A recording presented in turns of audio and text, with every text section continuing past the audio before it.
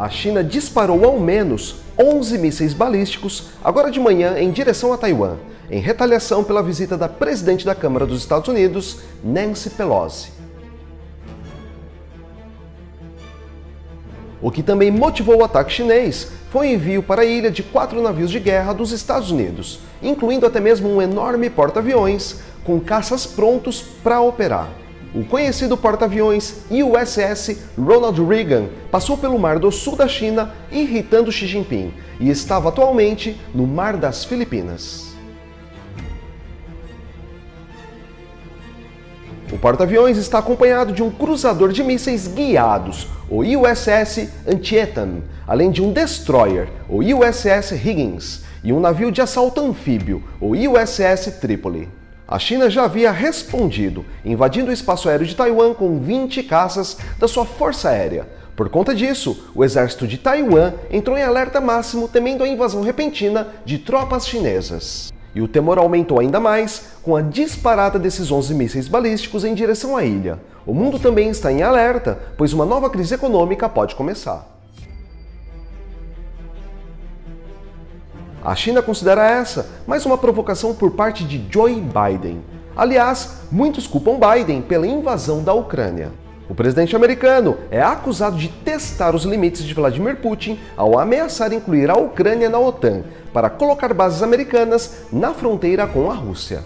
E o resultado, segundo a opinião de muita gente, foi a invasão e destruição do país comandado por Volodymyr Zelensky.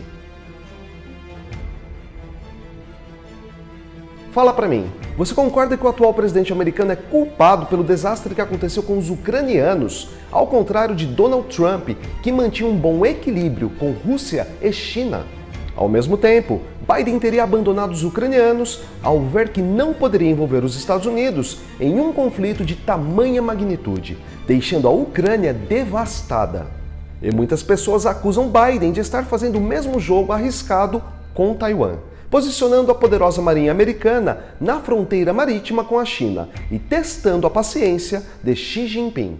E para piorar ainda mais os ânimos entre americanos e chineses, a presidente da Câmara dos Representantes dos Estados Unidos, Nancy Pelosi, visitou Taiwan nessa semana. O grande problema é que Pelosi tem um histórico de críticas contra o governo chinês e apoiou os manifestantes pró-democracia em Hong Kong. A chegada dela em Taiwan provocou a ira de Xi Jinping e Vladimir Putin ao mesmo tempo, que fizeram ameaças muito graves ao presidente americano Joe Biden. Comenta aqui também se você acha que os Estados Unidos passaram dos limites com essa visita, ou se a China que está sem a razão em querer tomar à força a ilha de Taiwan, assim como a Rússia está querendo fazer com as áreas separatistas da Ucrânia.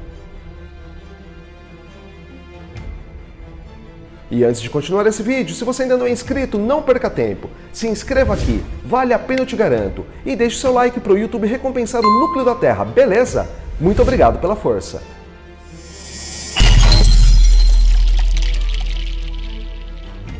Os mísseis disparados pela China são de curto alcance, chamados DF-11, já que a ilha está bem próxima do território chinês. Aliás, a China considera Taiwan parte do seu território. Porém, há relatos de que mísseis de longo alcance tenham sido utilizados nessa manobra inédita do governo chinês após a invasão da Ucrânia pela Rússia. Helicópteros da frota chinesa foram vistos em Pintan e os navios chineses já estão posicionados ao largo da costa oeste de Taiwan para fazer frente à frota americana. Segundo o Ministério da Defesa de Taiwan, os projéteis foram lançados em ondas sucessivas por quatro horas seguidas, deixando um alerta máximo na ilha. A China se pronunciou, dizendo que não haviam ogivas nucleares nos mísseis e, segundo o que foi levantado até agora, os primeiros disparos foram direcionados para alvos nas águas da ilha. Você acha que mais um conflito de grandes proporções entre a Aliança Ocidental e uma potência oriental está prestes a começar? Vai comentando. Taiwan pediu socorro ao Japão por conta de uma ofensiva chinesa. Mas antes de falar sobre esse ponto crítico, vamos dar um resumo da visita de Pelosi. Essa visita foi motivo para o início de todo esse novo conflito. Ela chegou em Taiwan por volta das 23 horas do dia 2 de agosto de 2022. A parada faz parte de um novo itinerário da Democrata pela Ásia, que previa passar por Singapura, Malásia, Coreia do Sul e Japão.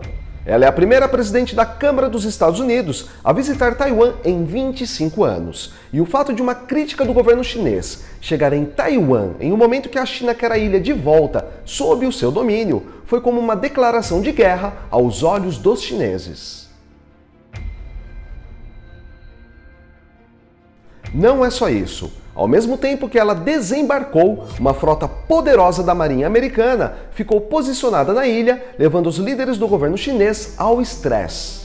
E esse avanço americano levou pelo menos duas respostas do governo chinês antes dos disparos dos mísseis balísticos, uma do Ministério dos Negócios Estrangeiros e outra do Ministério da Defesa. O Ministério dos Negócios Estrangeiros da China disse, pela palavra deles, que a visita da americana é uma violação severa do princípio de uma só China. Continuaram dizendo que, além de infringir severamente a soberania e a integridade territorial da China, prejudicaram severamente a paz e a estabilidade no Estreito de Taiwan. E terminaram dizendo que os Estados Unidos emitiram um sinal severamente errado às forças secessionistas da independência de Taiwan. Já o Ministério da Defesa chinês disse que colocou suas forças armadas em alerta e que lançará operações militares com alvos específicos. Essas operações são exercícios que incluem viagens aéreas e marítimas conjuntas no norte, sudoeste e sudeste de Taiwan, além de disparos reais no Estreito de Taiwan e lançamentos de mísseis no mar a leste de Taiwan, como já aconteceu hoje. A agência de notícias estatal Xinhua disse que os militares chineses realizarão estes exercícios em torno de Taiwan entre os dias 4 e 7 de agosto. Já segundo o Ministério de Defesa de Taiwan, a China está tentando ameaçar portos e cidades importantes ao anunciar exercícios militares ao redor da ilha nos próximos dias. Porém, já é de conhecimento de todos que os caças chineses já invadiram o sudoeste de Taiwan. O próprio governo de Taiwan confirma a invasão dos caças. Segundo o Ministério da Defesa de Taiwan, 27 aeronaves da Força Aérea Chinesa sobrevoaram o espaço aéreo da ilha.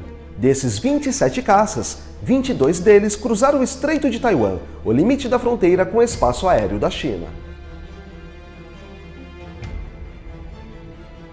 Uma série de tanques anfíbios foram mobilizados, levando um grande temor de que eles possam invadir Taiwan por terra, levando o exército chinês a começar um massacre como aconteceu na Ucrânia.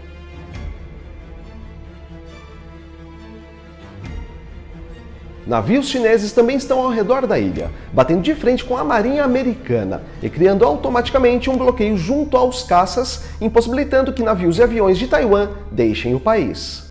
Taiwan pediu socorro ao Japão e às Filipinas, onde já negocia rotas alternativas de avião para furar o bloqueio criado por Xi Jinping para sufocar a ilha.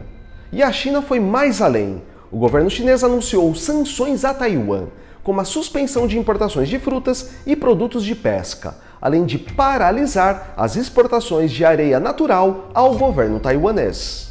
A alfândega chinesa ainda suspendeu as importações de 35 exportadores taiwaneses de biscoitos e doces. Essas medidas visam pressionar Taiwan pelas vias econômicas. Antes da invasão da Ucrânia, o mundo considerava difícil um conflito entre China e Estados Unidos por causa de Taiwan.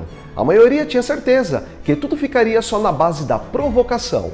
Mas depois que Putin surpreendeu o mundo com uma ofensiva violenta contra os ucranianos, que levou à devastação do país, autoridades de todo o globo estão mais cautelosas ao considerar a possibilidade de um conflito de grande escala mundial.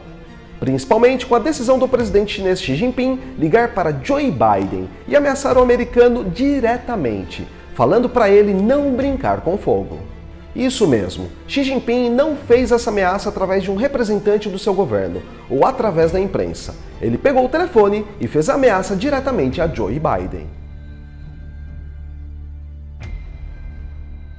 Os americanos não se intimidaram e Pelosi publicou no Twitter que a visita honra o compromisso inabalável dos Estados Unidos em apoiar a vibrante democracia de Taiwan, cutucando diretamente o ego do governo chinês.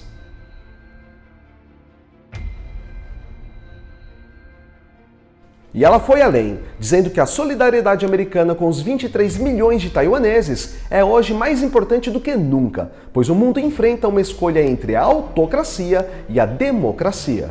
Quando ela fala em autocracia, ela não faz menção apenas ao governo da China, mas também ao governo da Rússia, que há muitos anos está nas mãos de Vladimir Putin.